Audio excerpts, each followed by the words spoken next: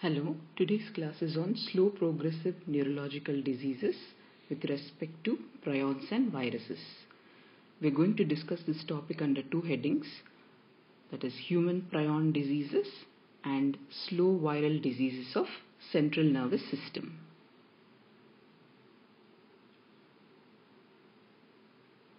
Let us start with human prion diseases.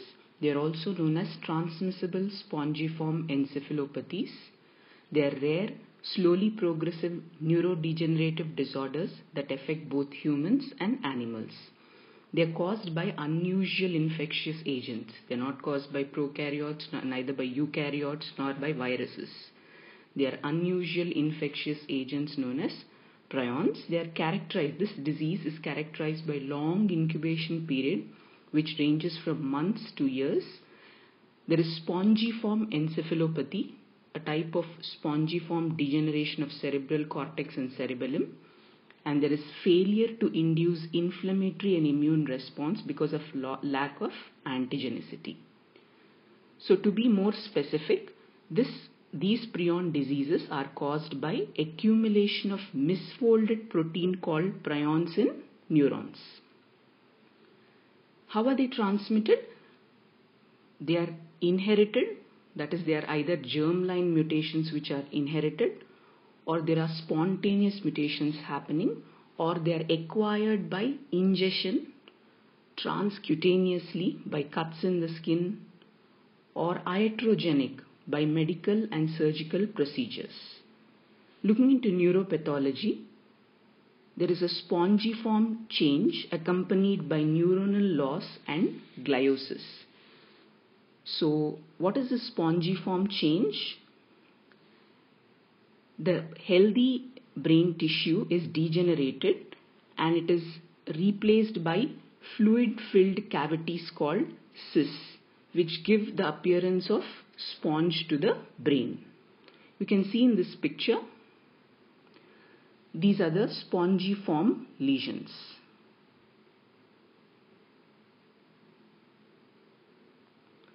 Let us know more about prions. Is there any normal prion protein existing in humans? Yes, there is a normal prion protein designated as PRPC which is found on the cell membrane of the neurons. The C is, should be written as superscript. It stands for cellular.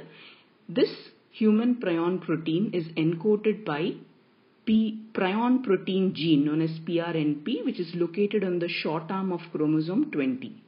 And what is its function? Function is synapses between neurons. When this normal human prion protein is misfolded it forms an infectious prion which is designated as PRPSC. SC should be written as superscript. Its SC stands for scrapie, the first prion disease of the sheep. So these prions are proteinaceous in nature.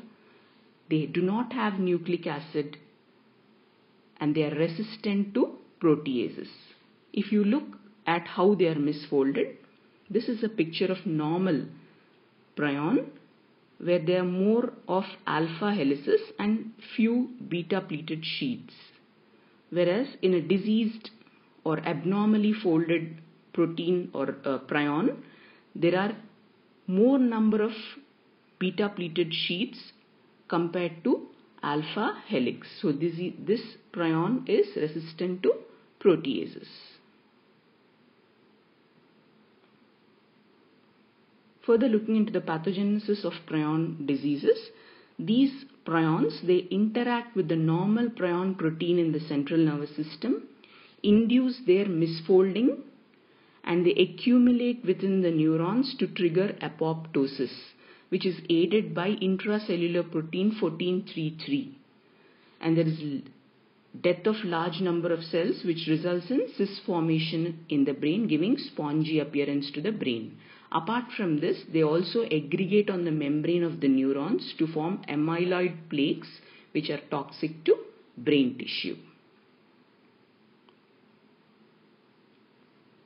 So this is nothing but a pictorial uh, depiction of the pathogenesis. In this context, we have to remember Stanley Prusiner who won Nobel Prize for explaining the mechanism of prion diseases.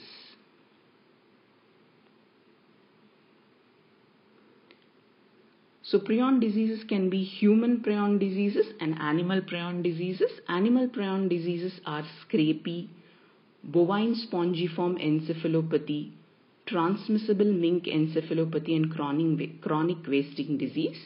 Looking into human prion disease, they include Kuru and they include uh, Kuru and uh, Creutzfeldt-Jakob disease, which includes sporadic CJD, familial CJD, variant CJD and iatrogenic forms. So how do you pronounce the CJD? It should be pronounced as Creutzfeldt-Jakob disease. Okay? Looking into human prion disease,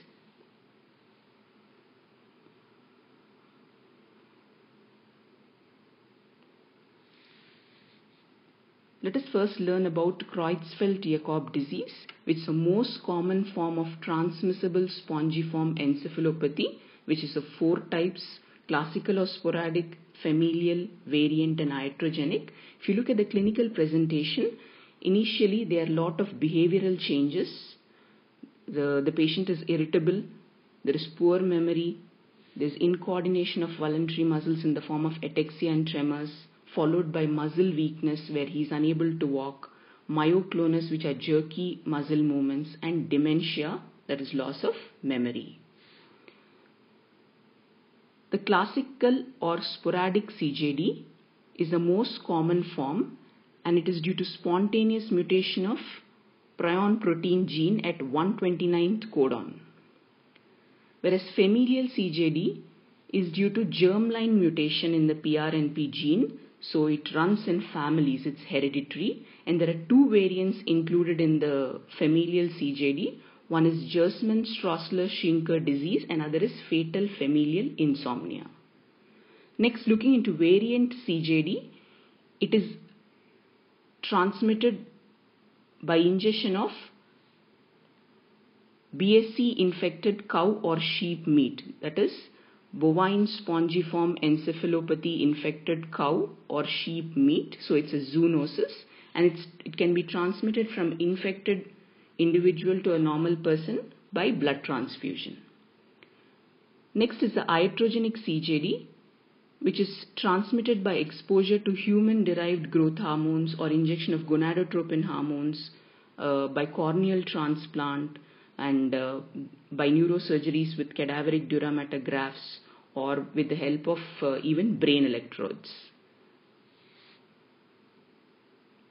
Next, fatal familial insomnia is a mut it's a one of the variant in familial CJD which is due to mutation in the PRNP gene and this misfolded prion protein accumulates in the thalamus. So because thalamus is involved, uh, it presents as the patient has symptoms of insomnia, sleep disturbances, exaggerated startle response, that is blinking of the eyes and spasms of muscles. There is blindness, there are hallucinations and dementia. Looking into Kuru, Kuru is another human prion disease, the first prion disease to be discovered in humans. It was seen in the tribe of New Guinea they, these uh, tribes have a ritualistic cannibalism. They eat the brain of the deceased family member, which results in this disease. And the symptoms are they have headache, joint pains, there is ataxia and tremors, and there are a lot of emotional changes like inappropriate euphoria, laughter. It's also known as, because of euphoria and uh, uncontrolled laughter, it's also known as Lauder's disease or they can be uh, in uh, extreme of emotion like depression.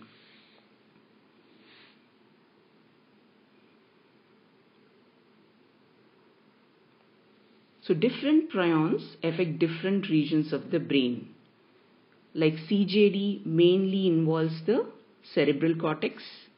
Kuru and GSS involve the cerebellum. Thalamus mainly is involved in fatal familial insomnia and brainstem in bovine spongiform encephalopathy. So when cerebral cortex is involved, the clinical features are, you know, related to it, loss of memory, uh, visual impairment. When cerebellum is involved, there's lack of coordination of the body movements, this difficulty in walking. And when thalamus is involved, the main features are insomnia, loss of circadian rhythm, and endocrine disorders. Looking into diagnosis of uh, prion disease or transmissible spongiform encephalopathy. It includes brain biopsy, which is a definitive diagnosis where you find the spongiform de degeneration, astrocytic gliosis, and amyloid plaque deposition. Next is immunohistochemistry to detect the marker protein, tissue western blotting to detect the abnormal folded prion protein that is PRPSC, CSF analysis to detect the elevated levels of 1433 protein, uh, protein which induces apoptosis and electroencephalogram shows periodic sharp waves in sporadic or classical CJD. The other one is gene sequencing of this prion protein for presence of pathogenic mutations. Next, let, let us look into treatment. Is there any treatment? No, exactly there's no treatment but you can give supportive care and the genetic counseling uh, for the familial forms has to be done. Only ways to prevent the transmission, to avoid blood donation by deceased and to decontaminate the surgical devices properly. So uh, you have to autoclave at 134 degrees centigrade for one hour when compared to the normal autoclaving at 121 degrees centigrade for 20 minutes. You have to autoclave these devices at 134 degrees centigrade for one hour and uh, treatment with uh, sodium hypochlorite for two hours will kill the prion. Now having looked into human, uh, known about human prion disease, let us move on to slow virus diseases of central nervous system. They are a group of viral infections which are characterized by long incubation period over months to years and they have predilection for CNS. There is absence of immune or inflammatory response and they terminate fatally. So let us look into what are these slow viral diseases. They include subacute sclerosing panencephalitis, progressive multifocal leukoencephalopathy, progressive rubella encephalitis and HIV encephalopathy. Looking into subacute sclerosing panencephalitis, uh, this develops 6 to 8 years after primary measles infection. Say the child is infected at the age less than 2 years with measles infection. Uh, over a period after 8 years, he suffers with this complication of measles known as subacute sclerosing panencephalitis. Looking into pathogenesis, it is because of persistent infection with defective measles virus which is harbored in the central nervous system. What is a defect? there are multiple point mutations in the wild strain of the measles, particularly involving the uh, matrix protein genes. So when this matrix protein, protein coding gene is involved, there is, uh, uh, you know, there's no assembly of the viral protein and budding. Uh, so the virus remains harbored within the neurons. And there's also autoimmune response to the measles virus antigen in neural tissue. Looking into the clinical course, there is cognitive decline, there are behavioral changes, seizures, myoclonus, ataxia, visual disturbances, and diagnosis is by estimation of you know raised anti-measles antibodies in CSF or histopathological changes seen after brain biopsy like inflammatory changes of the meninges and parenchyma and you can demonstrate viral inclusion bodies in neurons known as Cowdry inclusion bodies and this neuronal loss. Next is immunohistochemistry to demonstrate the measles virus antigen in the brain. nucleic acid hybridization test to identify the mutated genome and also EEG, electroencephalogram which shows periodic slow wave complexes, you know, which are um, known as Radermecker complex, which are bilateral, synchronous, symmetrical, uh, high amplitude slow waves which recur at a regular intervals of 5 to 15 seconds. So that was about subacute sclerosing panencephalitis Moving on to progressive multifocal leukoencephalopathy, it is due to reactivation of latent JC virus, a polyoma virus infection, which causes demyelination because it is involving, involving the oligodendrocytes. And uh, it is mainly seen in immunosuppressed individuals, uh, especially in HIV infected individuals. So are, the clinical presentation is there are speech problems, cognitive problems and loss of coordination you diagnose by detecting the RNA in the CSF by PCR or by brain biopsy. Looking into HIV associated encephalopathy, it's nothing but AIDS dementia complex, commonly seen when the CD4 count is less than 200 cells per microliter and uh, there is encephalitis affecting the white and the subcortical gray matter. So how do you uh, diagnose? By detection of HIV RNA in the CSF. Moving on to the progressive rubella encephalitis. It is also a rare, slowly progressive neurological disorder which follows congenital rubella infection or postnatal rubella infection and the onset of disease is after, at the, after 8 to 21 years. It has an autoimmune pathology involving molecular mimicry and the symptoms seen are behavioral changes, um, loss of uh, intellectual skills, ataxia, spasticity and seizures. Important questions are uh, list human prion diseases, write the pathogenesis of prion diseases and diagnosis of prion diseases. Thank you.